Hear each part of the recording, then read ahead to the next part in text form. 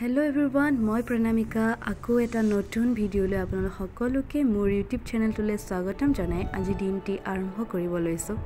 শুই উঠি বিচনা পাৰি অলপমান ৰুম চুম চাফা কৰিলোঁ আৰু দেখিছেই নহয় ৰ'দটো টেৰ টেৰকৈ ওলাইছে। চকু মেলি দেখা পাওঁ সেই ৰ'দটো মোৰ চকুৰ সন্মুখত।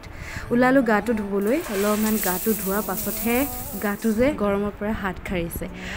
গা পা ধুই অলপমান চাকি তাকি জ্বলাই ধূপ ধূনা জ্বলাই খাবলৈ ওলালোঁ দহটাই বাজিলে। তাৰপাছতে অলপমান ৰুমটো চাফা কৰিলোঁ যিহেতু সেইদিনাখন জন্মাষ্টমী আছিলে অলপমান ভাবিলোঁ ৰুমটো মোহাৰি দিওঁ। তাৰপাছতে আছিলে অলপমান এছাইনমেণ্ট কৰিবলৈ। তাৰপাছত ঘড়ীটো ফালে চাওঁতে দেখিছোঁ দুটা বাজিবই হ'ল।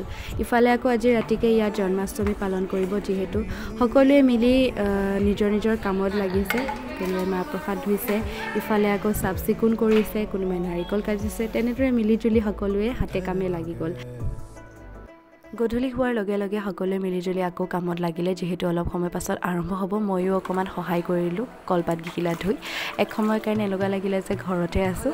হয় এনেকুৱা কামবোৰত যদি আপুনি অকণমান সহায় কৰি দিয়ে লগে ভাগে মিলি কিবা সামাজিক কাম এটাত যদি এনেকৈ আগভাগ লয় নহয় একদম ঘৰুৱা ঘৰুৱা অনুভৱ হৈ যায়। ময়ো চাদৰ মেখেলাযোৰ পিন্ধি নামলৈ বুলি আগবাঢ়িলোঁ আৰু এয়া সকলোৱে ধূপ ধূনা জ্বলাবলৈ লৈছে। যিহেতু অলপ সময় পাছতে আৰম্ভই হ'ব মাহ প্ৰসাদৰ কাৰণে এনেকৈ যোগাৰ কৰি ময়ো আজি এই ভিডিঅ'টোৰ পৰা বিদায় লৈছোঁ। মই প্ৰসাদকেইটা খাই। আৰু অন্য এটা নতুন ভিডিঅ'লৈ মই আপোনালোকক প্ৰণামিকাই পুনৰবাৰ লগ পোৱাৰ আশাৰে আজি এই ভিডিঅ'টোৰ পৰা বিদায় লৈছোঁ।